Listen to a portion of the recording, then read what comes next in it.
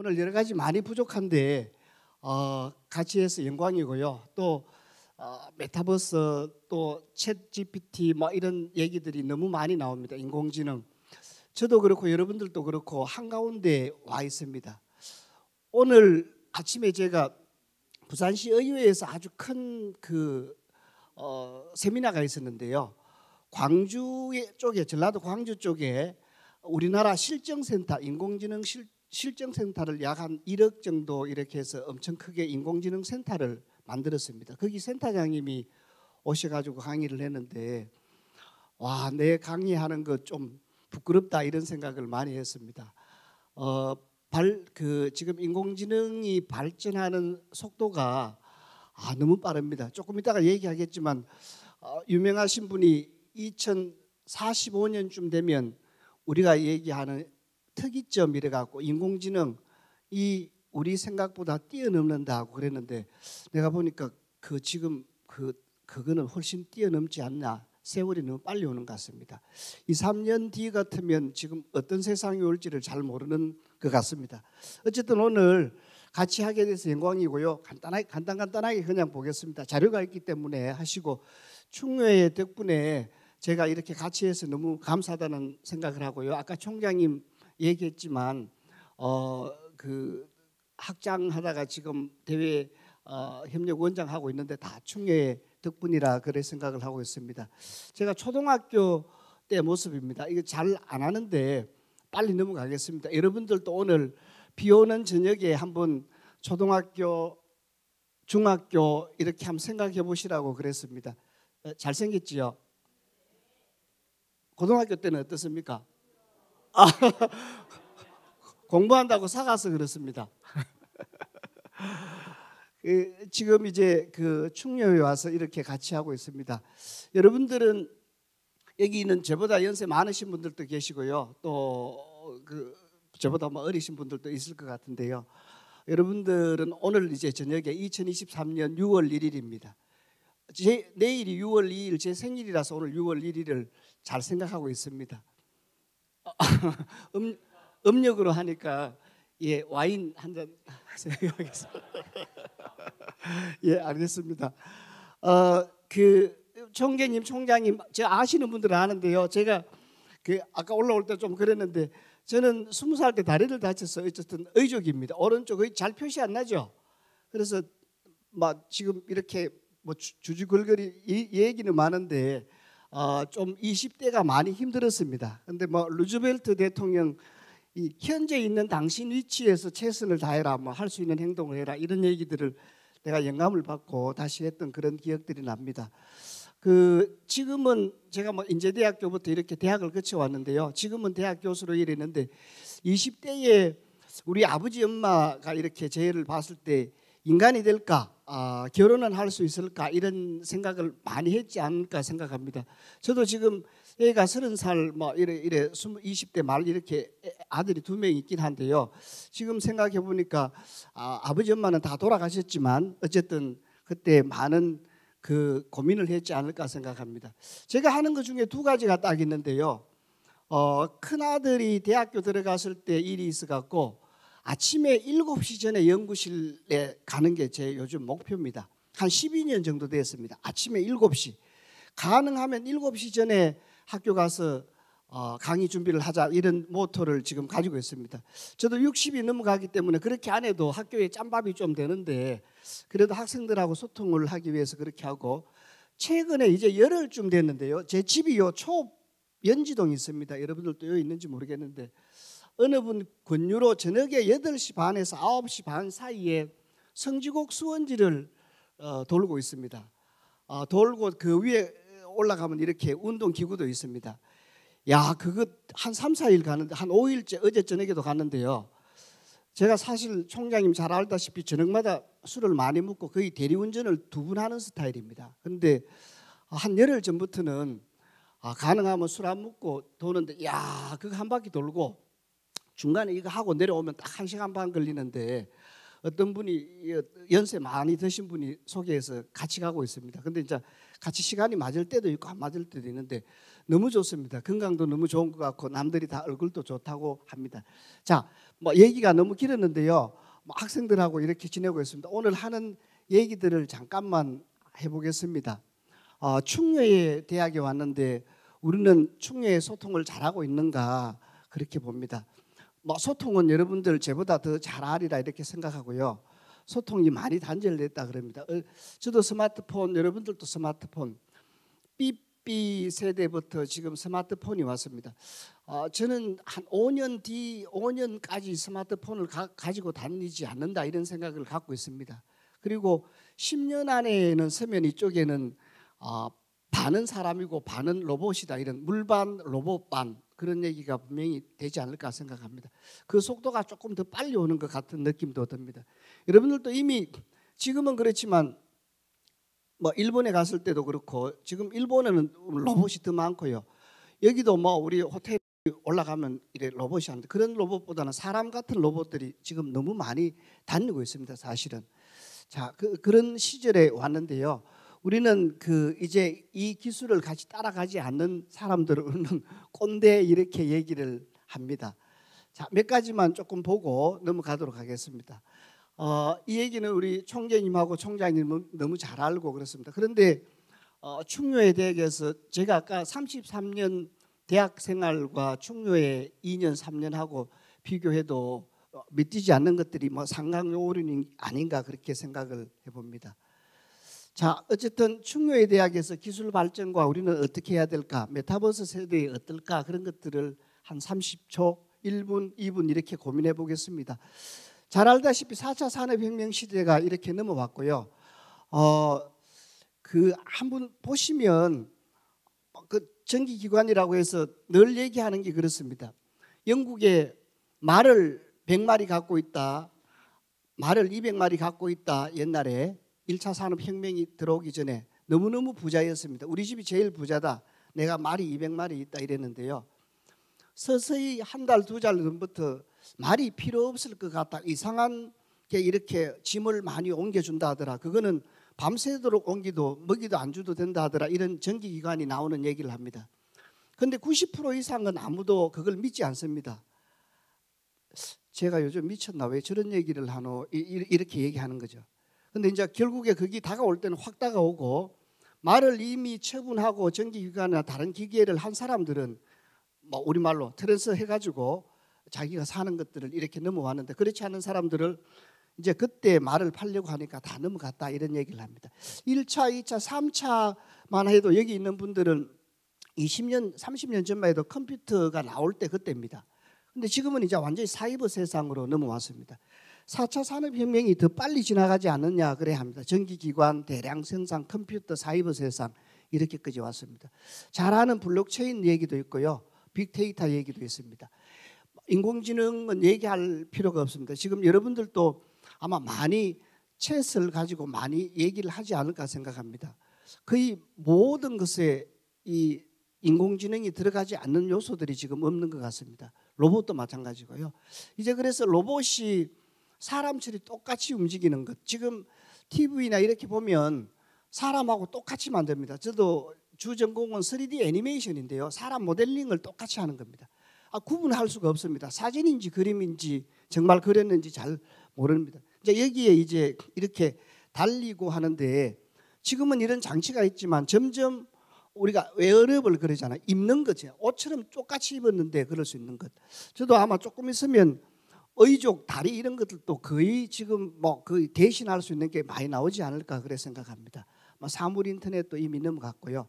우리가 소위 말하는 빅데이터, smart factory, 초연결, 블록체인, 가상화폐 이런 것들이 4차 산업혁명입니다. 여기 있는 내용들은 여러분들이 이미 많이 봤습니다. 아, 자율주행, 그다음에 드론, 뭐 로봇이 그 이렇게 해주는 것 이런 것들은 이미 잘 알고 있습니다. 이제 방금 얘기했던 요겁니다. 9,900년 동안 우리는 한 10개 정도가 성장을 했는데요. 1946년부터 2000년까지 약 한 50년 아니면 54년 동안은 100배 정도 성장을 했다 그럽니다. 그런데 어, 2000년부터 2010년까지 약 10년 동안은 4,000배. 그래서 또 2010년부터 2020년까지 여기는 여러분들이 이제 체험할 수 있는 우리가 알고 있는 시절입니다. 그렇죠. 얼마 전이니까 6만 배. 그런데 지금 여기서부터 여기까지는 이거 조금 이게 그 우리가 계산하기 힘들 정도로 이렇게 빨리 왔답니다. 9,900년이 여기 있는데 여기 10년이 이렇습니다.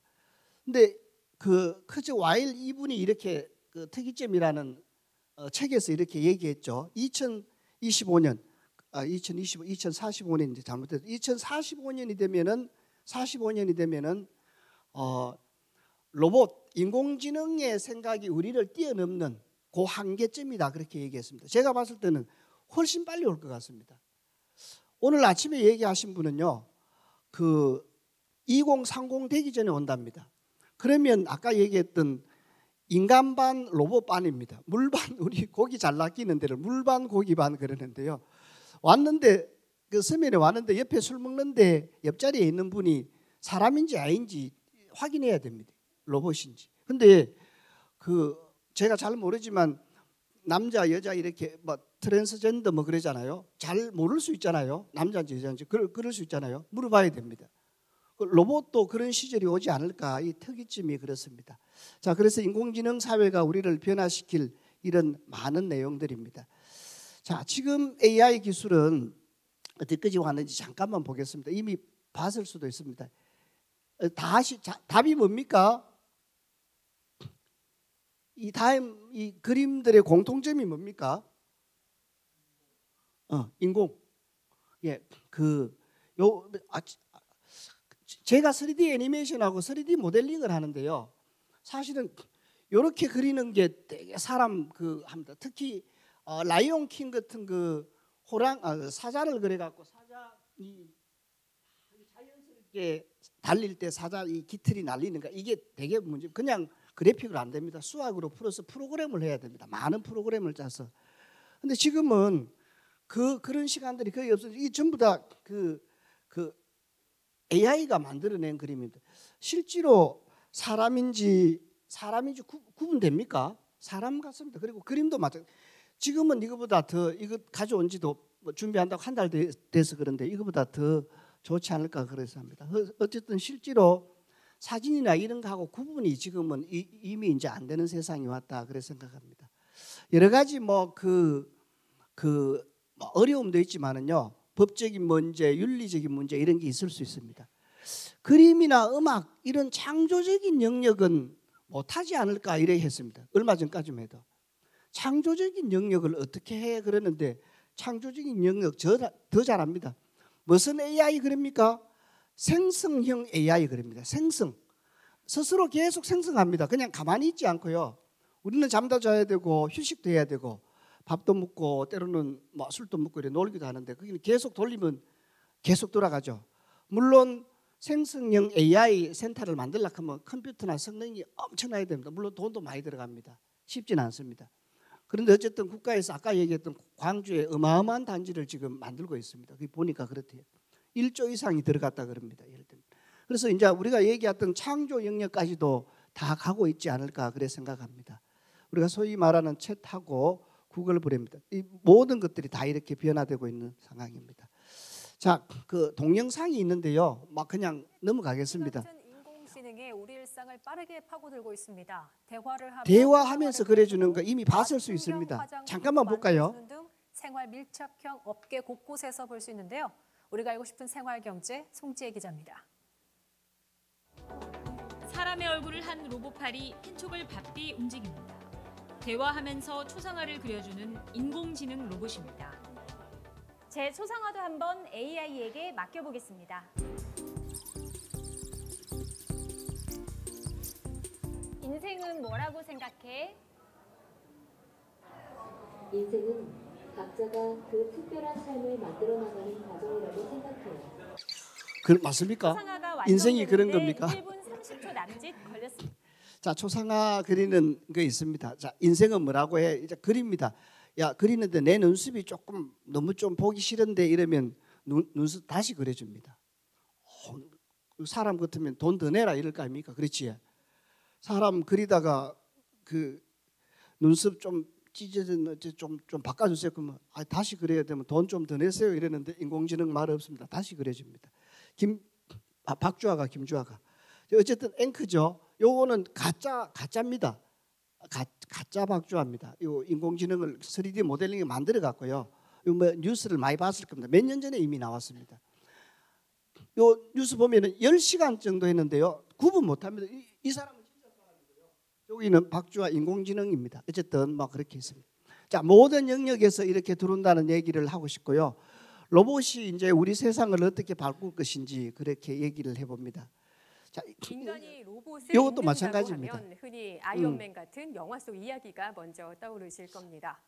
로봇을 입으면 장애도 딛고 일어설 수 있는 세상 머지않아 우리 실생활에 한층 더 가깝게 적용될 수 있을 것으로 보입니다. 박진준 기자입니다. 자, 막 이렇게, 된답니다. 저도 저도 막 저렇게 너무 됐으면 너무 좋겠는데요. 이렇게 로봇들이 사람인데요. 지금은 움직이는 게 그렇지만 2, 3년 있으면 사람처럼 움직입니다. 틀, 틀림없습니다. 다 인지합니다. 안 부딪힙니다. 안 넘어집니다. 이제는.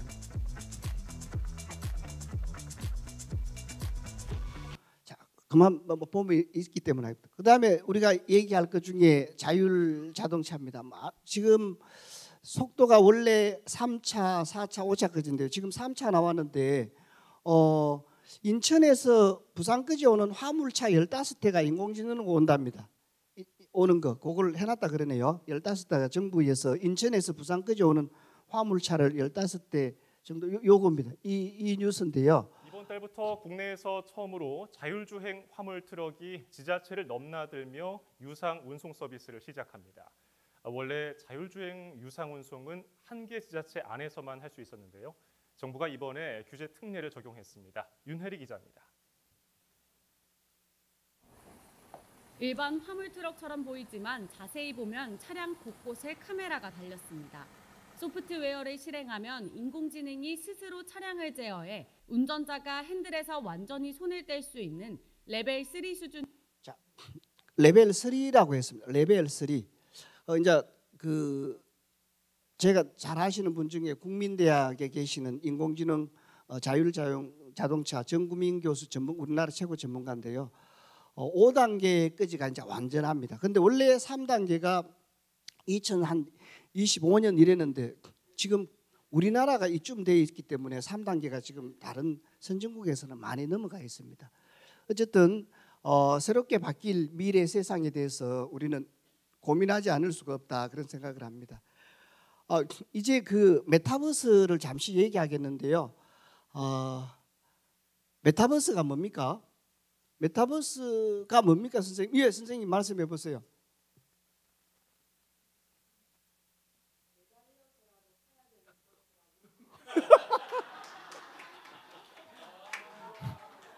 야, 박수 한번 주시지요, 박수. 매달 매달려서도 반드시 타야 되는 버스가 메타버스라. 와, 선생님 제가 오늘 맛있는 거 사겠습니다.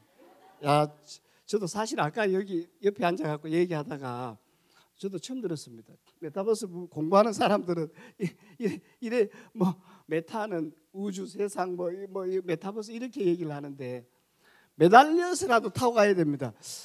중학교 고등학교 다닐 때 버스 많은 데 갖고 차장이 오라이 칼 때가 어제 같았는데 그렇지 않습니까? 그때 그 수업 늦을까 학교 늦을까 싶어 갖고 매달려가 탔던 게 그때 같은데 어쨌든 그렇습니다. 어, 그 메타버스 뭐 동영상은 그뭐 메타버스가 왜 중요하니까 뭐 그렇습니다. 요그 지금 현재 가상 세계에 와 있는 것 중에 메타버스가 가장 훌륭하기 때문에 그렇습니다. 저도 페이스북도 하고 뭐도 하고 그래 그래 하고 있습니다. 여러분들도 마찬가지죠. 얼마 전에 있었던 포켓몬입니다. 정강현실 이렇게 되면 보이는 것 정강현실. 거울 같은 세상입니다. 내 거하고 두 개 똑같이 만들어서 하는 트윈 거울 같은 세상. 그다음에 우리가 게임하는 거 완전히 가짜 세상, 가사 형식. 이것을 어쨌든 다 합친 게 메타버스이기 때문에 지금 현재는 메타버스가. 올해 연말 내년까지 메타버스를 계속 설지는 모르겠습니다. 작년 재작년만 하더라도 지금보다 10배 이상 한 100배쯤 메타버스 얘기가 많이 나왔는데요. 지금은 메타버스 많이 죽었습니다. 그래도 현재 정점 와 있는 거는 이 메타버스입니다. 올 연말이나 내년쯤 되면 우리가 지나갔던 많은 IT 용어 중에 하나가 되지 않을까 그래 생각합니다. 그렇지만 여기 있는 많은 내용들을 다 품고 있기 때문에 지금 현재는 메타버스 세상에서 회의도 하고 수업도 하고 같이 만나고 그럽니다. 보십시오. 이거 게임하는 사람들은 게임만 하잖아요. 예를 들면 페이스북, 카카오 스토리, 이런 거, 인스타그램, 정강은 실도 그렇고요. 이걸 다 합친 게 여기 있기 때문에 메타버스를 우리는 지금 현재 매달려서도 타야 되는 버스가 아닌가 생각합니다. 여러분들 꼭 타십시오. 꼭 타야 됩니다. 자, 메타버스 속에 인간들입니다. 우리 충효예도 마찬가지인데요. 메타버스 속에 metahuman 그럽니다. 그 속에 우리는 인간의 윤리, 인간의 철학, 그 다음에 뭐 범죄, 좋은 것, 나쁜 것 모든 것들이 다 들어가 있는데 이런 것들을 우리는 어떻게 소통해야 될까 그런 것들을 생각해 볼 수 있습니다. 많은 것들이 지나갔던 얘기들을 하지만은요 코로나 시대에 이런 내용들을 우리는 같이 많이 했습니다. 자 조금만 넘어가겠습니다 시간 관계상. 어 뭐 대통령 뭐또뭐 소크라테스 할 것 없이 다 이 메타버스 세상을 얘기를 옛날에 했습니다. 학교 졸업식, 입학식 회의들도 코로나 시절에 다 그랬습니다. 근데 그걸 이미 다 안고 가고 있습니다. 여러분들 모르는 것 같아도요.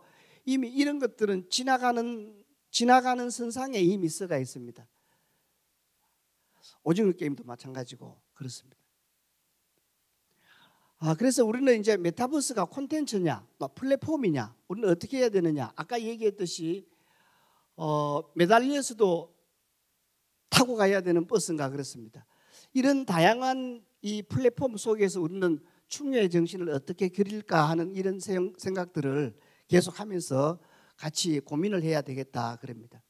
자, 몇 가지만 보고 오늘 중요한 행사를 한다 그래서 좀 빨리 마치도록 하겠습니다. 자, 요거 한번 잠깐만 한번 볼까요? 요거는 들어갈까 안 들어갈까? 이렇게 하면 될까 안 될까? 그럼 보지 맙시다. 자, 이거 뭐 동영상인데요. 그 Chat ChatGPT 그럽니다. 어, OpenAI 그런 회사에서 만드는 우리는 대화형 인공지능입니다. 대화형. 우리는 interactive 이렇게 얘기합니다. 내하고 얘기하는 것. 게임에 몰입하는 게 왜 그렇습니까? 왜 게임을 애들은 게임을 너무 좋아합니까?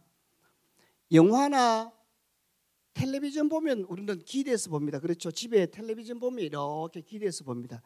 텔레비전을 볼 때, 영화를 볼 때 앞에 가서 이렇게 막 빠지게 안 봅니다. 근데 게임을 하면서 누가 이렇게 게임, 어, 게임 잘 되나 이런 사람 없습니다. 그런 사람이 없습니다.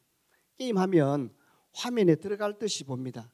그게 이제 게임의 상호작용, 어, 몰입 그런 거거든요. 근데 이제 다른 것들도 챗이 마찬가지다. 요거는 조금 뭐 다른 이유긴 한데요.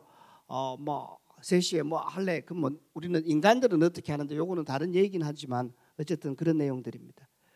자, 어, 혹시 이뭐그 그 유료로 하고 계시는 분 계시나요? 챗 GPT를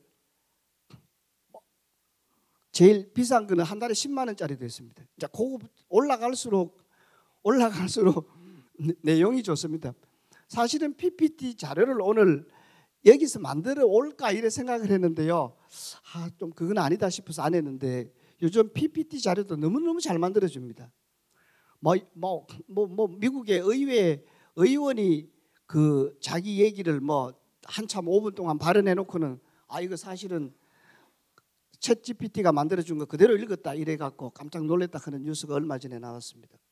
한번 충료회를 한번 한번 제가 한번 봤습니다.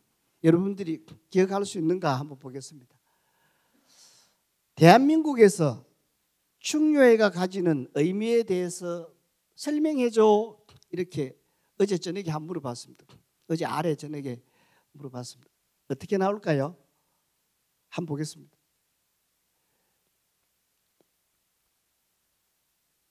자, 이렇게 대한민국에서 충료회가 가지는 의미에 대해서 설명해 줘. 아주 설명해 줄래? 안 해줄 안 해주면 죽을래? 그건 아니고요. 그랬더만 충료회는 대한민국에서 중요한 의미를 가지는 개념입니다. 이렇게 나왔습니다. 충료회는 한자로 충성과 효도의 예를 예라는 뜻으로 조상이나 국가, 부모 등에 대한 충성과 효도를 지키는 태도를 가리킵니다. 이는 한국 문화와 유교 사상에서 중요한 가치 중 하나로 여겨지며 개인의 의무와 책임을 강조하는 데 됩니다. 그래서 충성은 어떻다 이렇게 얘기하고요. 효는 어떻다, 충효에는 어떻다 이렇게 합니다.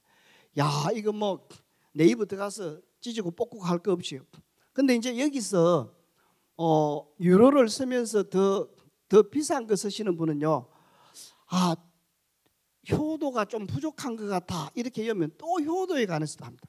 그러면 지금의 효도와 10년 전의 효도는 어떻게 달라? 그럼 또 밑에 또 달아줍니다. 끊임없이 그 비싼 걸수록 답변을 잘해줍니다. 또 질문을 지금은 얘기하지만 질문을 앞으로는 뭐 질문을 여러분들도 이미 들어봤죠. 질문을 잘하는 사람이 잘 산답니다. 질문을 잘해야 똑똑하답니다. 지금까지는 학교 교육이 그냥 가리키고 답변하고 이랬는데요. 지금은 이제 질문하는 세상으로 간다 이겁니다. 질문을 잘하는가 그렇답니다. 하나만 더 보겠습니다. 요즘 대한민국의 젊은 사람들이 충효에 대해 어떻게 생각하는지 알려줘 이랬습니다. 젊은 사람들은 충효에 대해서 어떻게 생각할까 그랬습니다. 자, 요즘 대한민국의 젊은 사람들 사이에 충효에 대한 인식은 다양하다 이렇게 했습니다. 다양하, 다양하답니다. 야, 그 잘했죠. 일부 젊은 세대들은 전통적인 가치 중 하나로서 충효를 중요하게 여기고 이, 여기는 경향이 있다. 그들은 가족과 조상, 국가에 대한 존경과 예의를 갖춘 것 중에 중요하다고 생각하며 이를 통해서 가족 구성원들의 사회적 조화, 뭐온 가족의 소중히 여기는 부모의 가르침이 된다. 또 하지만 일부의 젊은이들은 충효에 대해 상대적으로 덜 중요하게 생각한다. 이런 경향도 있답니다. 어, 있겠죠? 있답니다. 그래서 요거 그냥 요거 치면 한 한 한 5초 만에 이렇게 나와 버립니다. 그래서 이들은 개인의 자율성, 개별적인 가치를 더 강조한다. 그럴 수 있겠죠. 그럴 수 있다. 그래서 이, 이, 이 인공지능의 결론은 따라서 요즘 대한민국의 젊은 사람들 사이의 충효에 대한 인식은 다양하며 개인의 가치관 또 가정의 환경, 교육 수준, 문화 영향 등의 영향을 미치는 요인이다. 일부는 충효를 중요시하고 실천하며 다른 일부는 상대적으로 덜 중요시하거나 다른 가치를 강조하는 경향을 보일 수도 있다 이렇게 얘기했습니다.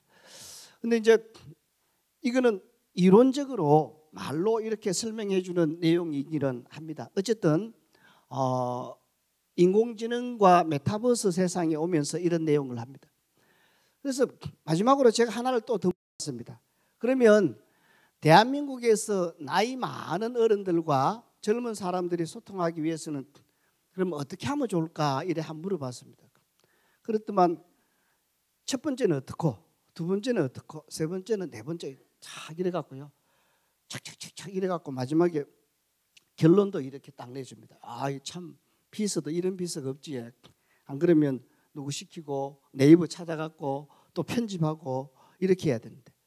그래서 첫째는 개방적인 태도가 필요하다. 개방적인 태도. 뭐, 뭐, 무슨 말인지 알겠죠? 또 상호 배려와 이해하는 마음을 가져야 된다. 그런 얘기를 하네요. 그리고 공통 관심사 찾기 그랬습니다. 공통적으로 관심 있는가? 또 대화와 커뮤니케이션 기술을 강화하는가 그랬습니다. 여기 가만 보면요. 개방적인 태도 이랬습니다. 거기에 이렇게 쭉 까다 보면 아주 중요한 말이 하나 나옵니다. 이래 이래 이래 하는데 의견과 관점이 있는데 경청하는 게 중요하다 그랬습니다. 경청.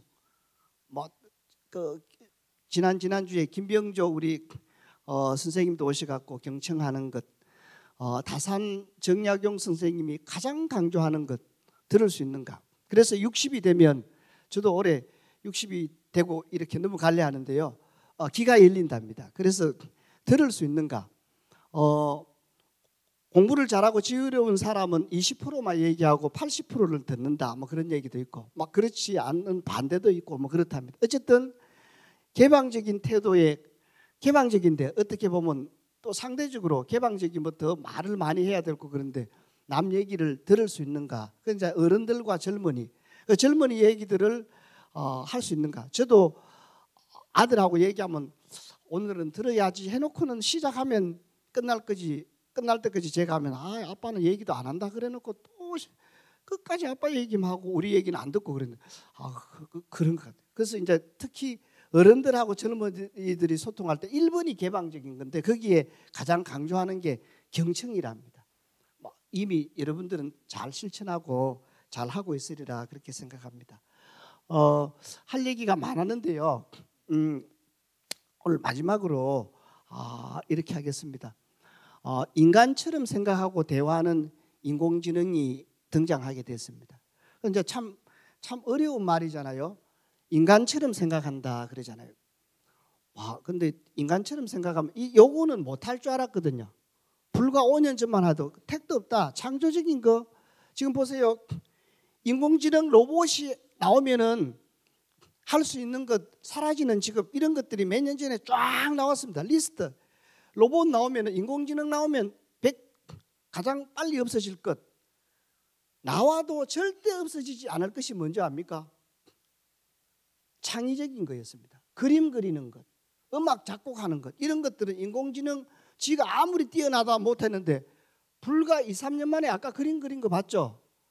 아, 지금 뭐 그림을 어떻게 그려야 될지 모르겠습니다. 지난주 나도 억수 유명한 우리 나라의 만화가도 만나고 그랬는데요. 와, 내가 어릴 때 만화책에 그랬던 게 지금 막 하늘로 날아다니고 야단났다. 그게 현실이 됐네. 내가 참 깜짝 놀란다. 이런 얘기를 합니다. 방금 얘기했듯이 불과 3년, 4년 전에 가장 빨리 없어질 직업, 가장 그래도 인공지능 로봇이 나타나도 끝까지 남을 직업 그랬는데 그 다섯 개가 그 일시에 그냥 지금 없어졌습니다. 그래서 생각하고 대화하는 인공지능이 나타나서 아까 얘기했듯이 그림 그리는 것도 자기 이, 말하면서 아까 그게 생성형이라는 계속 gener, generator 그러죠. 계속 생성한다 이겁니다. 인공지능이 로봇이 처음 나올 때는 그냥 인공지능 로봇 이런 얘기만 했습니다. 올여름 CES 미국에서 작년 겨울부터 생성형 generator가 붙어 챗 GPT의 G가 그래 generator잖아요. G가 generator거든요.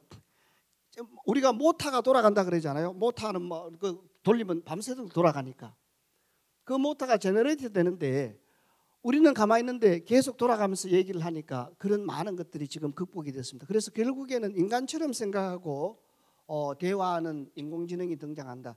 그렇게 됐을 때 어떻게 될까? 막 이런 얘기들을 좀 적, 적어놨는데 한번 보시면 되겠습니다. 음. 어, 마지막으로 한 번 또, 또 물어봤습니다. 참, 참 재밌고 쉬운 세상이 왔습니다. 충효의 대학 강의를 들으신 분들에게 인사 한마디 해달라. 그러니까 내가 인사 안 해도 됩니다. 인사 잘해줍니다. 충효에 대한 강의를 들으신 분들에게 수고하셨습니다. 충효에 대한 깊은 이해와 인식을 넓히기 위해 노력하신 것에 대해서 감사드립니다. 충성과 효도의 가치를 배우고 실천하는 여정은 가족과 사회 그리고 나 자신에게도 큰 이익을 줄 것입니다. 앞으로도 계속해서 지혜를 쌓고 성장해 나가시기를 바랍니다. 강의에 참석한 여러분들의 존경과 또 깊은 감사와 격려의 말씀을 드립니다. 하여튼 뭐 이렇게 챗이 제 대신 이렇게 해줍니다. 여기 보면 방금도 있듯이 어, 그 충효의 가치를 실천하는 여정 이런 참 이런 말 우리도 글 적어 갖고 이, 이, 이런 말 쓰기 쉽지 않지 않습니까? 그래서 사회와 가족 나 자신에게 아주 큰 의미와 큰 도움을 줄 것이다 이렇게 얘기를 했습니다. 야 그래서 참참 참 대단하다 참 멋지다 그런 생각을 했습니다. 그래서 충효에